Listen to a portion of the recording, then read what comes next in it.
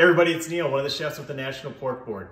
It's grilling season, so today we're gonna get outside, fire up the charcoal, and throw something on the rotisserie. We're gonna make some traditional style tacos al pastor, but we're gonna make them untraditional. We're gonna do Indian spices, and instead of tortillas, we're gonna use some flatbreads, and I'll show you a quick and easy way to cheat and make your own at home. So the first thing we're gonna do is we're gonna get the pork cut, marinated, and set overnight, and then we'll get going.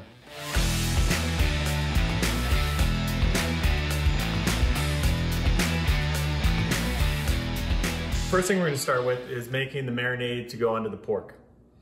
So we're gonna do traditional tandoori style marinade. So what I'm gonna start with is some food coloring. If you don't wanna use red food coloring, you don't have to, it's not a big deal. Uh, if you have achiote paste, you can use that. Even some pomegranate juice, something that'll just give a little bit of the, the traditional red color. I've also got yogurt here. You can use Greek style, you can use light, doesn't really matter. This is Greek. I've got garlic and ginger. And then here I have a blend of garam masala, Kashmiri chili powder, black pepper, clove, cardamom, coriander, cumin, and some salt. So that'll all go in. Got some cilantro. And fresh lemon juice.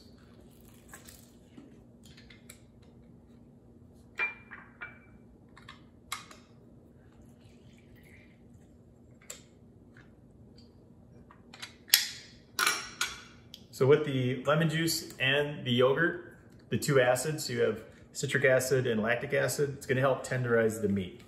So we're just gonna whisk this together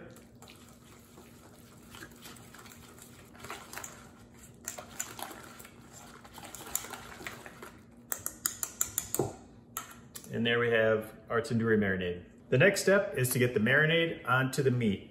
So I'm using pork shoulder. This is a whole shoulder that I got, a whole boneless shoulder. And what I did was I sliced it really thin, about an eighth of an inch thick. If you don't want to cut it all up, if you have a international market, usually they have this in the case that you can go find it thinly sliced. And we're gonna use shoulder because this is gonna cook for several hours on the rotisserie, so I don't want it to dry out. So using something that has a lot of good connective tissue, a lot of fat, it's gonna help render and baste as it's spinning on the rotisserie. So I don't wanna use something that's lean. I want something that's gonna have a lot of flavor, a lot of fat. These ends are gonna crisp up when the fat hits the flame. So I wanna use something that's got a lot of richness to it. Again, we've got our marinade here. So pour that over the top.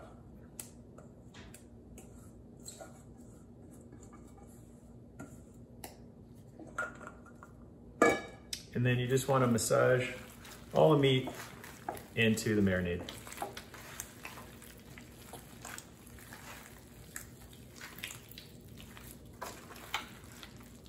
Now I did use Greek yogurt, so my marinade is gonna be a little bit thicker. If you use a lighter yogurt, it's gonna be a little bit runnier.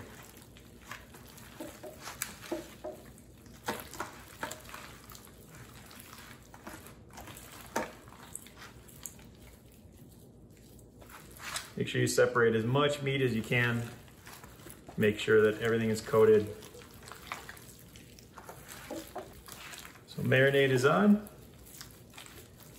I'm gonna wrap this in plastic and let this refrigerate for at least 12 to 24 hours, depending on how much time you have. But the longer you let it sit, the more flavor it's gonna have. The next thing we're gonna do is prepare the pork to go onto the rotisserie. If you don't have a rotisserie, have some long skewers, you can just certainly skewer the meat, whatever works best for you or whatever equipment you have. But because I do have a rotisserie, I'm gonna use it. One thing I like to do is I have this piece of venting that I just got at the hardware store and I've lined it with plastic wrap, put some foil on the bottom just to make sure in case there's any gaps, the juices don't run out. And I like to layer it. So I like to push all the meat in and I layer onions in between so that I get a nice stacked cylinder of meat and this is just for me, what I prefer to do on my rotisserie. But like I said, you can make skewers out of this. You don't need to necessarily do this step, but I just like to do it for uniformity and it holds everything nice and tight together. So the first thing I do is I just start putting meat and I like to lay it because I'm gonna have my rod go through the middle. So I wanna lay it flat and as even as possible so that I get nice stacked layer of meat and onions. So like I said, I'm just gonna keep building this, this cone essentially because I am gonna do this horizontally. I'm not doing vertically. So I want this to be as even as possible and as tight and compact as possible so that I don't have meat flying all over the place as the rotisserie is spinning. So throw some onions in there and then just keep building layers of meat and onion and we'll just keep building it until we're at the top or I'm out of meat, whichever comes first. But I should have enough in here to fill this cone nice and tight. So I'm just gonna keep building this until I get to the top. Okay, I have my cone all the way filled up with meat, been packing it down, layering in red onion in between.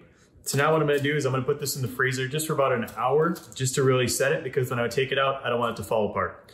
So the one other thing I will say is since I did use Greek yogurt, which is a lot thicker, I don't have marinade running everywhere. It's held together really well because of that viscosity. So using Greek yogurt, you want to have quite a mess. So I'm just going to cover this up. And I'll put this in the freezer for about an hour just to give it a little bit of time to set. And the nice thing about the metal can is that it's going to help insulate and keep it cold. So about an hour, I'll take this out and we'll start the next step. Okay, my meat has been in the freezer for an hour. You can see it's holding its shape, but it's not frozen. And what I've done here is I've laid down some cling film and then this is caul fat. So caul fat is lined around a lot of the intestines, a lot of the organs, and it's a great way to wrap meat that's lean, um, something that you want to add a little bit of flavor to, and some fat, some moisture.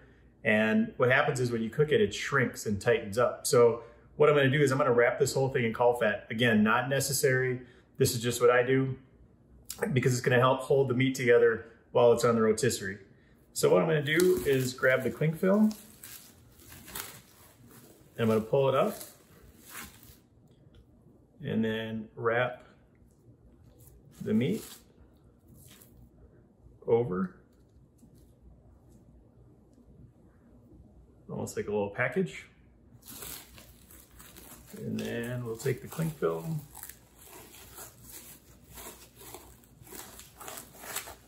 And we'll roll it over on itself.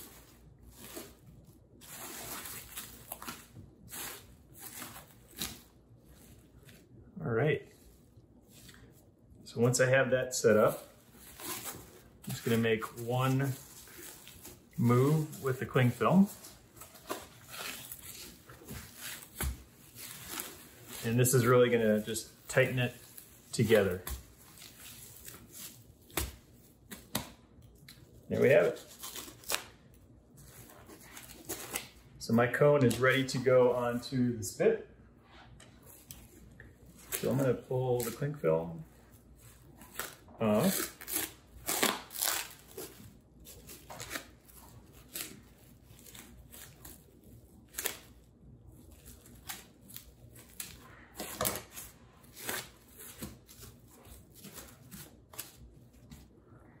And I'm going to insert the rod from one end to the other. Try and be as center as you can.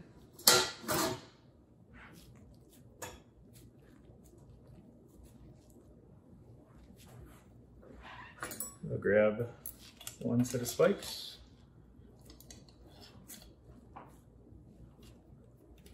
And we'll clamp it down.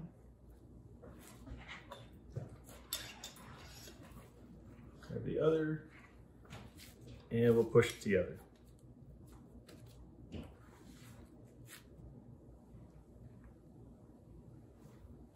All right, so my cone is ready.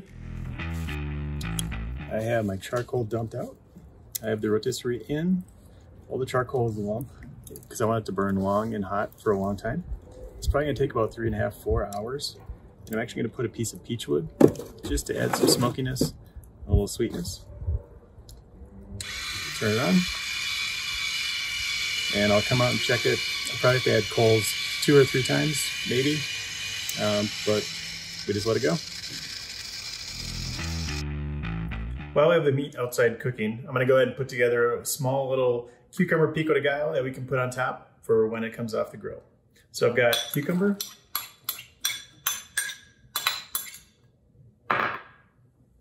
tomato,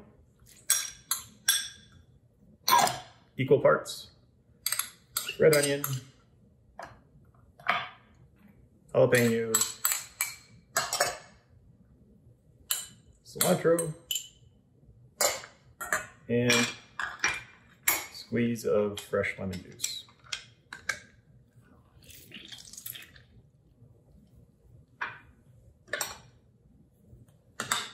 Forget salt and pepper.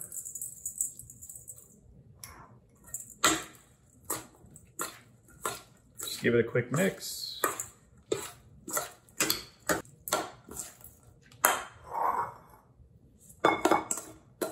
And just transfer it to a serving bowl.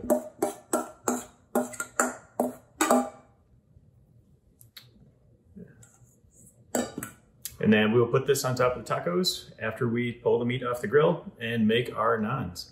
We're gonna make some crema using yogurt to go on top as a finishing sauce.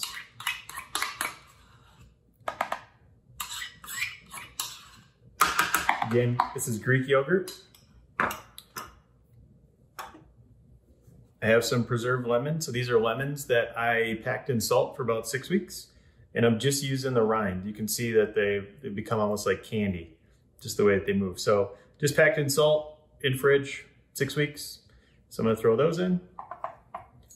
Pinch of salt and pepper.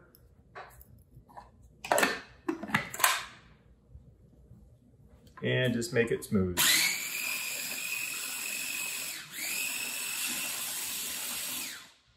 There we have it. So this is our preserved lemon crema and we'll put this on at the end of the taco. All right, our pork has been cooking for about three hours now, and I took off all the caul fat. Once the meat sets up, you don't need it anymore. It's just to help, help hold it in place, let some of the fat stay inside the meat. And uh, we've got about another hour to go, so I'm looking for 165 on the internal temperature just because I did skewer it. And so just from a food safety standpoint, I want to make sure it's cooked all the way through. I could start slicing it off right now, but I really want it to get nice and caramelized.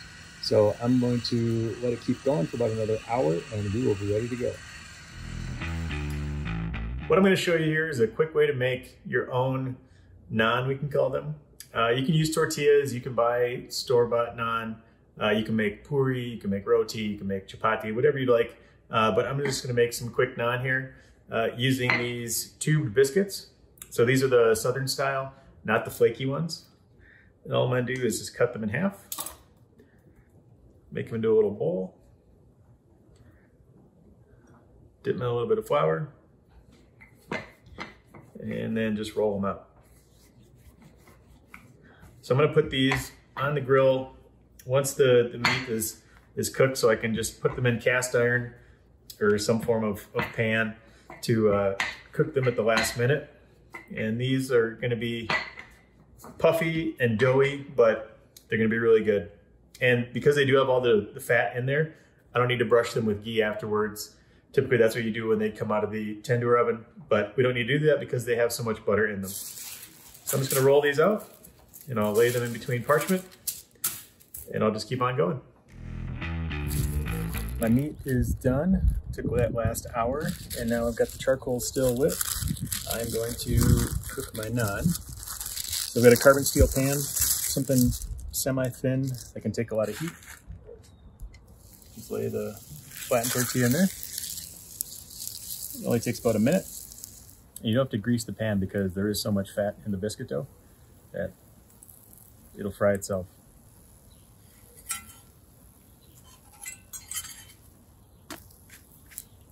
Flip it over.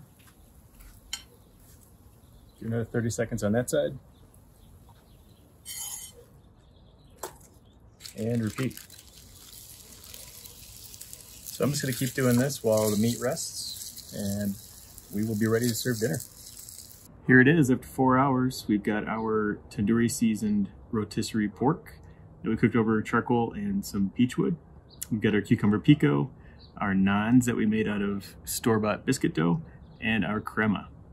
I know this seemed like maybe a lot to do, but you can easily just do this as skewers, cooked over the grill, but because I have rotisserie and I had free time, I thought that I would take the time to do it. So I hope you found this fun and easy and something that you might want to give a shot to. And uh, thanks for watching. Take care.